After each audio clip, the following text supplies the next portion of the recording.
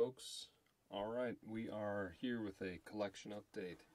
Um, we've got some special things on the table. I might do some separate videos regarding these guys, which uh, got a good story about those. Uh, a little update on the Crux.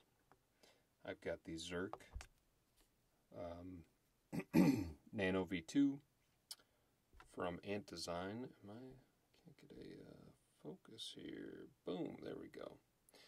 Uh, that is the Zerk version, though. I did have the titanium one, so we'll talk about some differences on that. I put these guys back together the way they're supposed to be, so I'll let you hear the sound of the all pie ratchet version versus the fixed um, Zerktai, I guess, maybe? Mokutai? Who even knows? Then you've got these guys uh, repaired. I never did a video of this in all pie uh, because I think I swapped these two plates almost immediately. So it was the PEI in the middle here and bronze here. I didn't really like it overall. So I put them back even though those are the most impossible pieces to take apart and uh, put back together. So first let's start with um, these Fidget Boy pieces. Move this over here. Actually, no. Better yet, let's leave the tray. Let's take all the other fellas over here. And uh, let's talk about these guys. So, I purchased the Ronin finally, and for a 3D printed piece. Look at how stinking beautiful that is.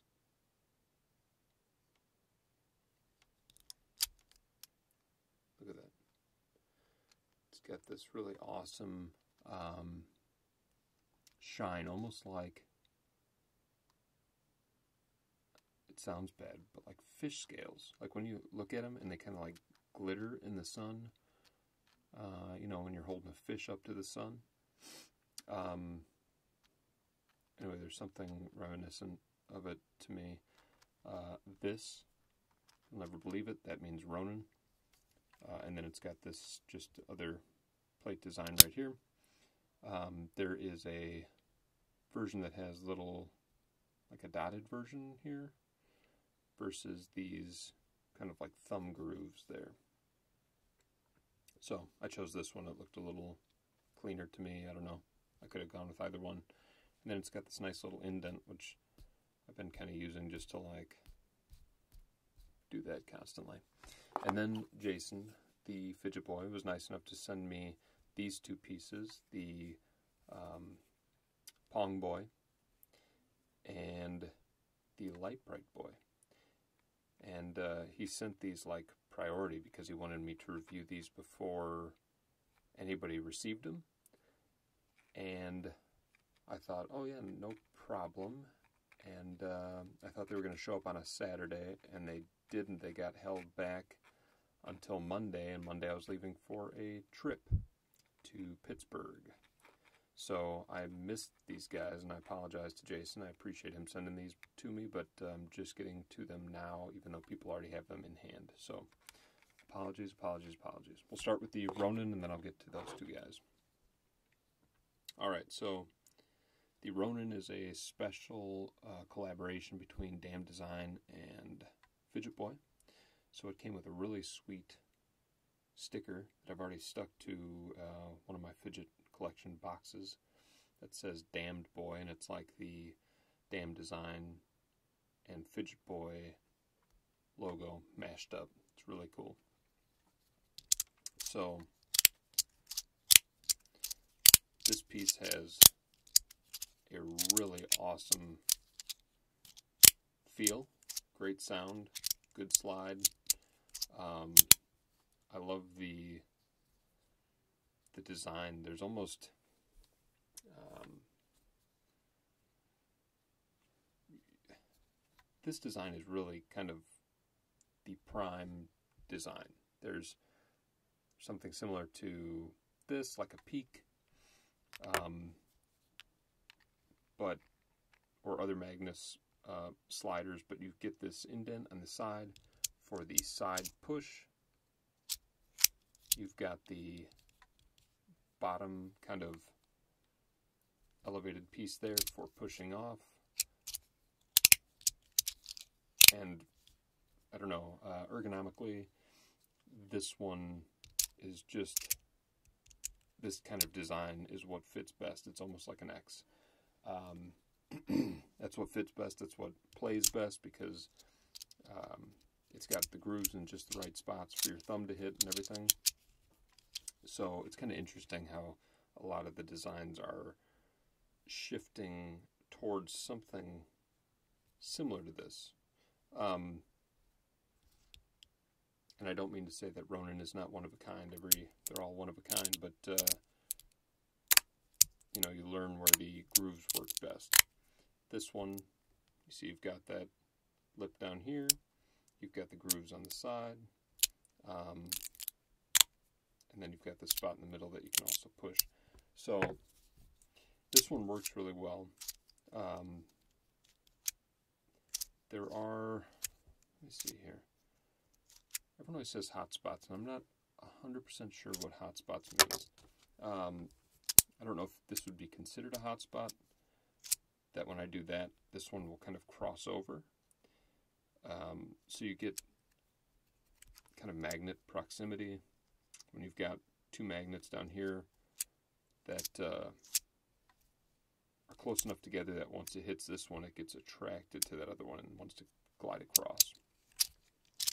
Um, but, see, so you get that occasionally with this one. And I don't know if that's just the, that's magnet proximity or magnet strength for the weight of the body, because sometimes if the body isn't heavy enough and the magnets are strong enough, it'll pull the body with it instead of the body pulling the magnets with it. So overall, though, um, this is a killer piece. It's one of the most beautiful uh, Fidget Boy pieces, just with this kind of like gradient, purple into pink, um, and the kind of sparkly nature of it, almost metallic. Um, really great piece. I like it. I've been using it plenty. Um, with that connection thing or not.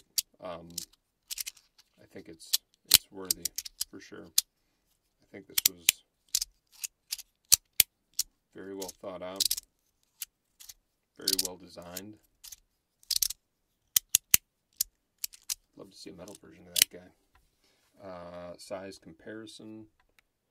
Uh, we'll throw a Magnus slider up against it so you can see that's a little thicker than those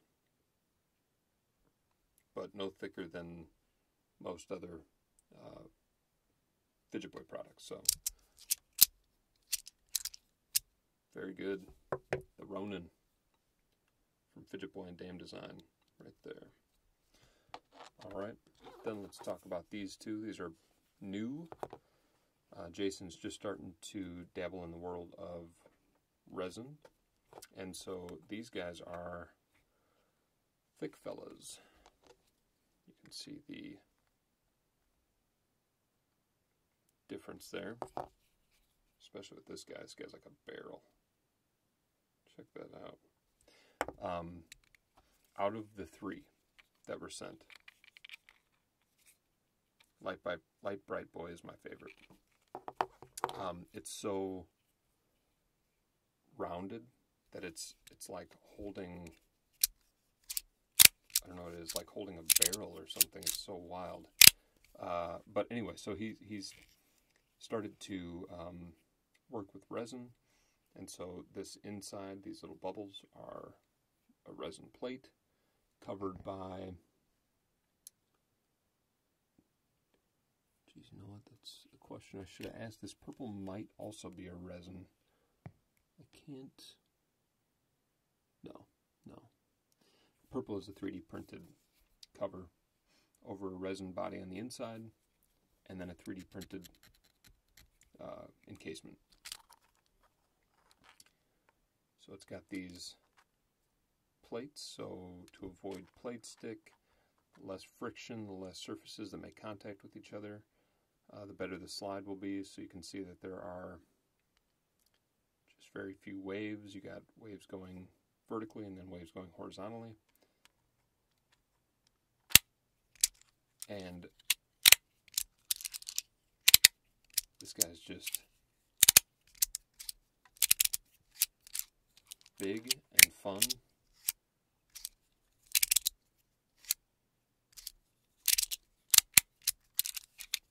Really super chunky. So these are thicker ones. You know, he, he made that pretty clear um, when he announced them that these were going to be fat boys. Uh, he did make a video today about, or not a video, but an, like an announcement about these lines here. Some people were assuming that those were cracks, but those are in fact the Z seam. So when you do that, you have to assign a Z seam. You can either assign it all together, or you can try to randomize it so that it doesn't show up, but apparently it looks really bad when you randomize it. So making the whole Z seam uh, for the material all in one place is the easiest and least shitty looking. Pardon my French. I didn't even notice it until I saw that uh, post. But uh, just FYI, so when you see those pieces, that's not a problem with the slider. Uh, let's check this out though. This is pretty cool. So, why light bright Boy?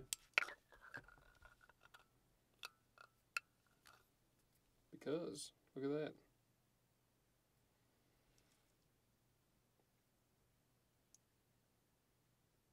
That's super cool. So you can shine through there and those really do light up. It's a lot of fun. I don't know if it does it on this one. Does it? Yeah, kind of barely. So it definitely shows up better on this one. It's worthy of its name, Light Bright Boy. Um, I really like that. Let's zoom back out, Kyle. So that is Light Bright Boy. Just kind of nice if you're looking for a nice chunky slider. It's just like a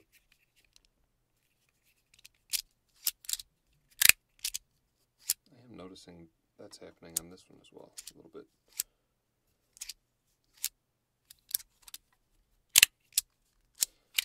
Shit happens. This wasn't one that you're like really whipping around anyway, just because of its size. So I didn't really notice that until now because I've just been using it more like that. I do this move where I push it out, pull in with that finger, and then push up with my thumb. So you're just kind of like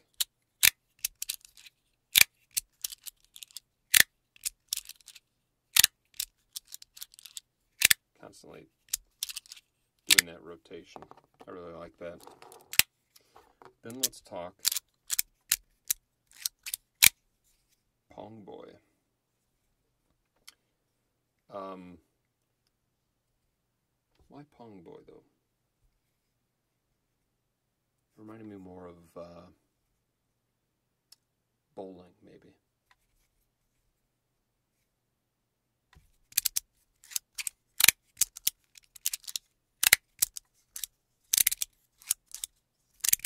Dang, this one is good too. I mean, got these, so you can't see the magnets like you can through light bright, but you get the same swirl plate design. It needs a little, almost like an indent here. It's got a little bit of a curve to hold your thumb in, but it could use just almost like a little push in right there, similar to, to that. And then I think this would take the top piece for me.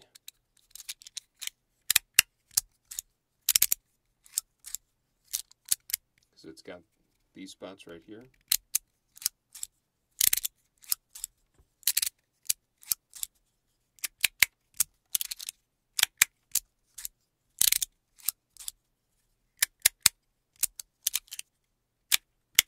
That. That's really cool. Both these pieces are great. I'd say if this one um,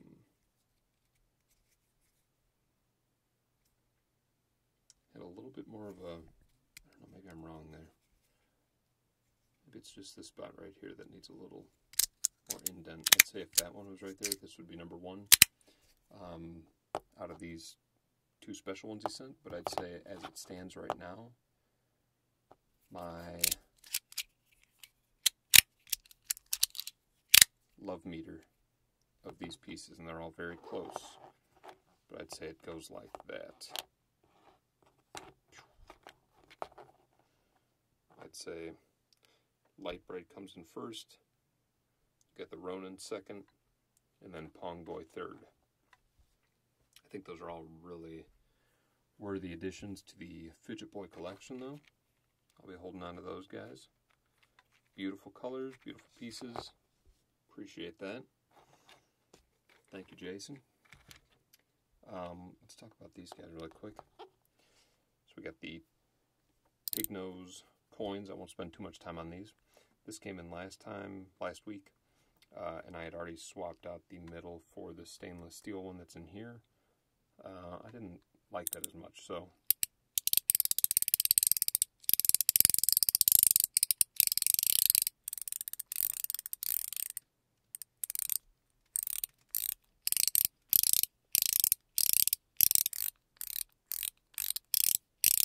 how much louder that guy is.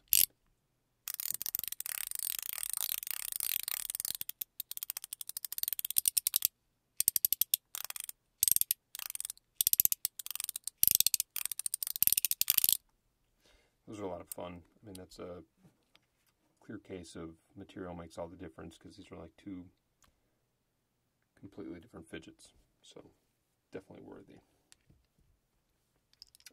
Then we'll talk about these guys.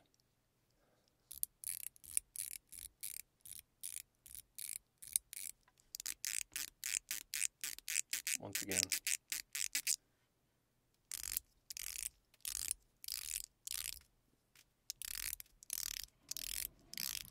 material makes all the difference. So you've got pie, zircon bronze, definitely more muted.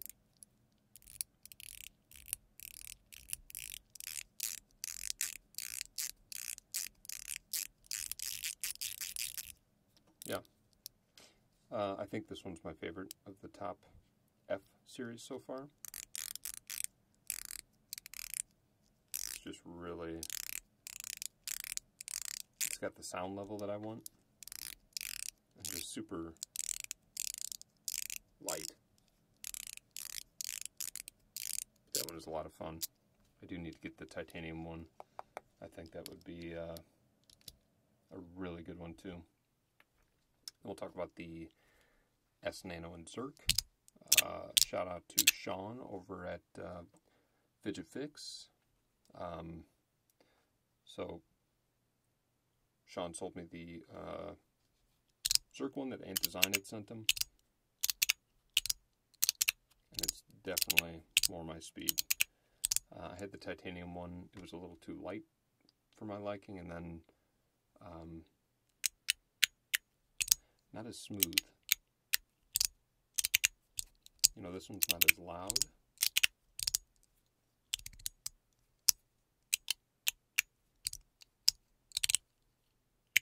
But it's very smooth.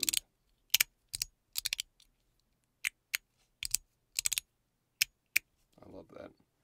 Um, some people were complaining about the fact that the titanium one is sandblasted, so there's a little more grip. I don't have that problem of like really sweaty hands or anything, so it's definitely not a uh, problem for me. Some other people had that, but uh, for me this is perfect. I think this texture gives you plenty to work with, even if you are sweaty. Um, So I definitely think that's good. And they're just starting to release new plates for these. So if you go on Ant Design, it's A-N-T Design, um, they're starting to release new style plates for these so you can swap them out and have it look a little different. So really cool.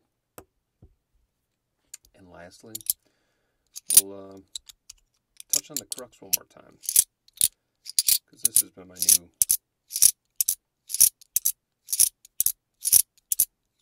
go-to, just super satisfying move. Just kind of constantly getting it half and half. Um,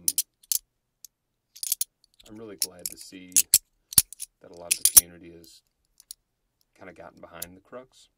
Uh, it seemed like there might be some some people out there that just kind of got it and didn't totally get it. Um, that are, are kind of coming around now and are seeing the value of it or seeing um, just how much you can do with it or, or just getting comfortable with it. So sometimes that happens. Um, I love this piece. I, I mean, I, I carry it constantly. So, definitely a great piece. If you didn't get Crux, uh, I'm sure Mike is going to be doing uh, another run. They even talked about doing uh, additional materials. Of course, that was uh, kind of solely, doesn't belong, uh, dependent on how the sale went for the first one. So, um, and, and, I'm pretty sure they sold out. And I hope they did. If they didn't, uh, got some cruxes to buy. Check out uh, playforbeans.com. But uh, otherwise, we'll leave it at that. It's already 22 minutes, so long enough, Kyle. Uh, if you guys have any questions, um, shoot me an email or reach out in the comments. And uh, we'll see you next week for the update. Bye.